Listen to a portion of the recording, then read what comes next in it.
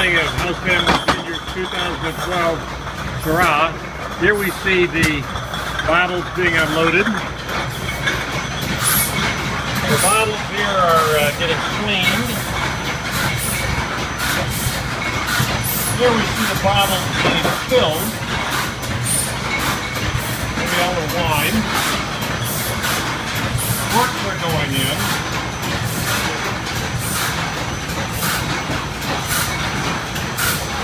Well, here we see the foil going on.